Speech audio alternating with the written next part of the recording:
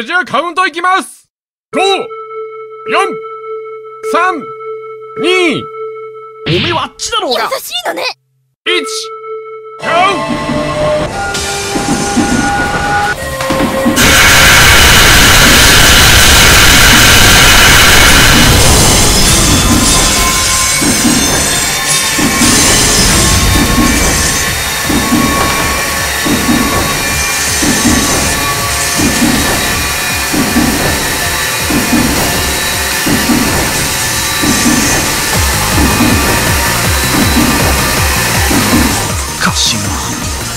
はいっぱいじゃねえか。俺が。なあ信彦。お前京子にどんな作戦考えてたんだ？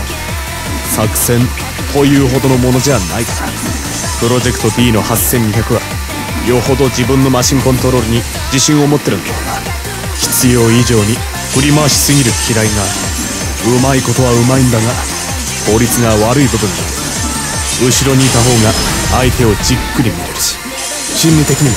優位に立て。るなのに京子は先行を選んだんだ。小細工なしで真正面からぶつかりたい。それはそれで京子らしい。なんだかんだ言っても京子はモチベーションで走る感覚派だからあとは D のドライバー。がどのくらいクレバーなのかがポイントだ。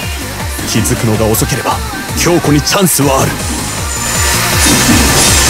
この女うまい。うまいけどなんてだ俺が苦戦させられるほどの相手なのか。東道塾にだって勝ってるんだ。わけがわかんねえ。俺がよっぽど乗れてないのか。それともセッティングの失敗か。焦るな。カッカするな。とにかくクールになれ。まだ始まったばっかりじゃねえか。ケイスケが先行されてる？東横線を選んだのはケイスケレベルアップのためってこういうことなのか？なあ凌介。レッドサンズとして遠征をやった頃と比べて8200がパワーアップしているのでマスコンワークが何倍もナーバスだ東横線は全線でアップダウンが続くのでマスコンワークのトレーニングや格好のステージなんだ8200の理想はその1理想はそれを倍の10の値くらいにコントロールする。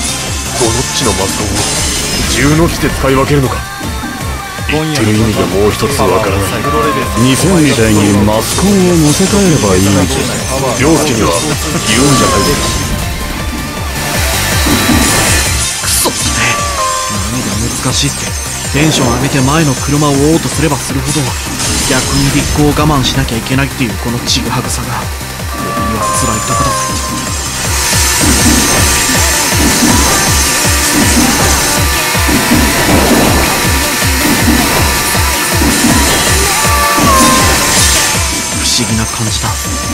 前を走るあいつにいつの間にか引っ張られて。思い通りに乗れてない割にこうしてついていけてるのはあいつが理想的なペースメーカーになってくれているからだ。今は我慢してついていく。闇雲に攻めるだけが脳じゃねえってことだろう。がしっかりチャンス見つけねえと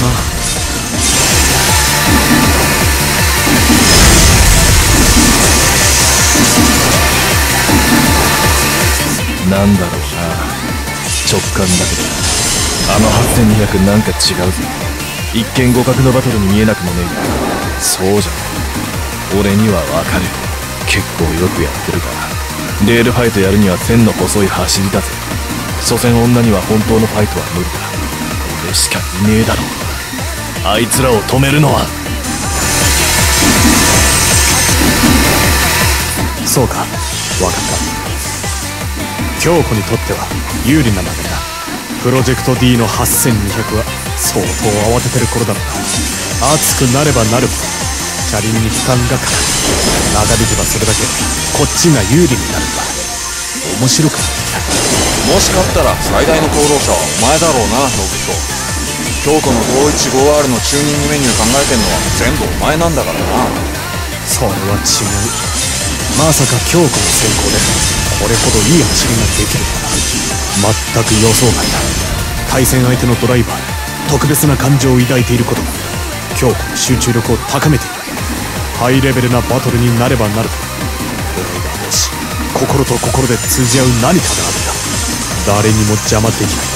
二人だけの世界だからな。ちょっと血の涙を流そうまさかそこまで。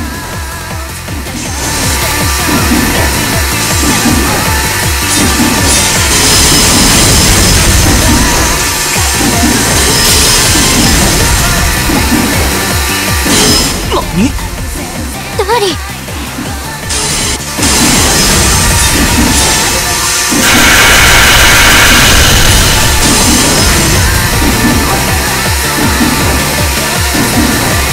フェイントで地平線に飛び込んだがまさか被るとは思わなかったぜ。引っ張られていくうちにリズムがシンクロしてきてるのか。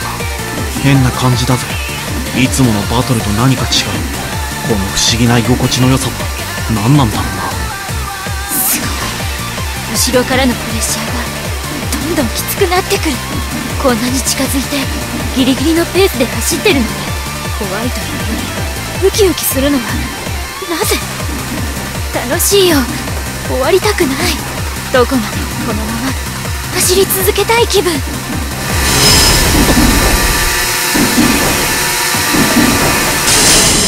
れか分かったぞ兄貴。不女子の弱点。情けねえ。バカすぎだぜ。なんでもっと早く気がつかなかったんだ。女は男と比べて体重は大体軽い。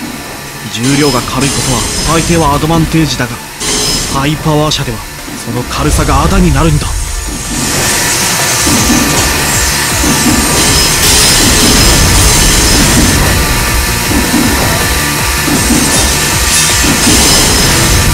すごいことに。なったどうしちゃったの？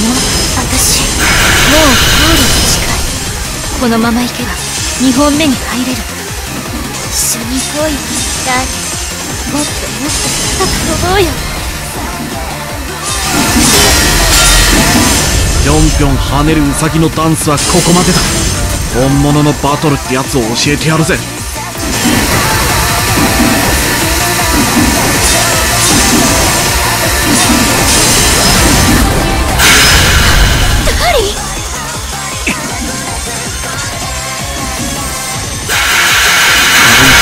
軸重が小さく粘着力不足を招きやすい。ましてやジャンプしちまえば立行も制動もできない。全くの無防備になるんだ。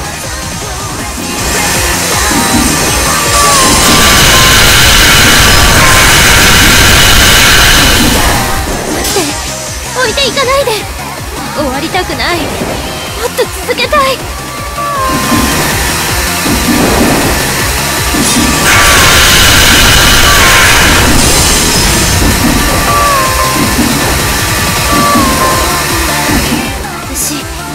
んな気持ちになったこと今まで一度もないの他にどうしていいかわかんない。諦められない。これくらいのことでへこたれない。私諦めないから。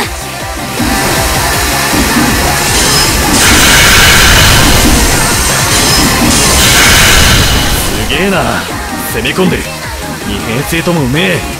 5000系を限界まで持ってくのは腕がいるからな。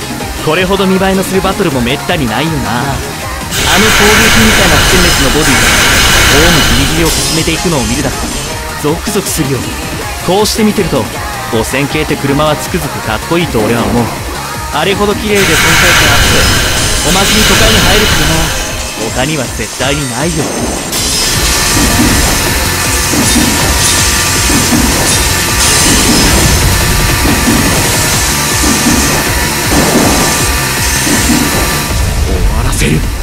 ダラダラ付き合っちゃいられねえ。嫌だ。行かないでもっと続けたいよ。終わりたくないの。ただよ。俺は先に行くぜ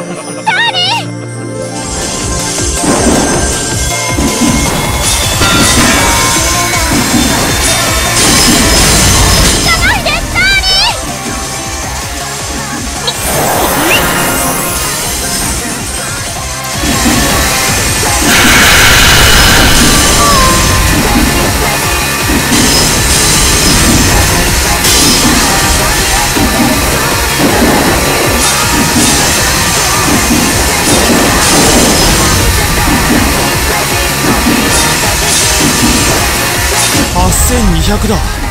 プロジェクト D の勝ちだ。あれ？汚染系は？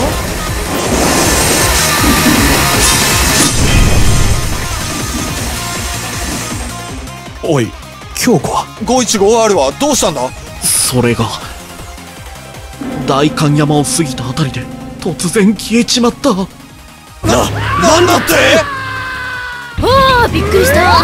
うっかり地下新線に飛び込んで新渋谷駅地下ホームに行っちゃった。ごめんね信彦。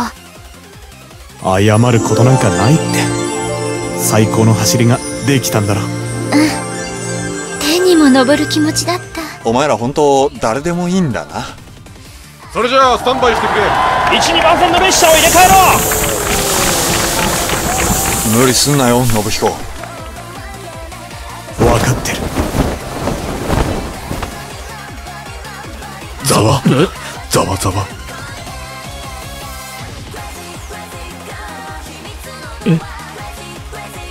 無理はしないさ。無理をせずに勝ちに行く。あれ？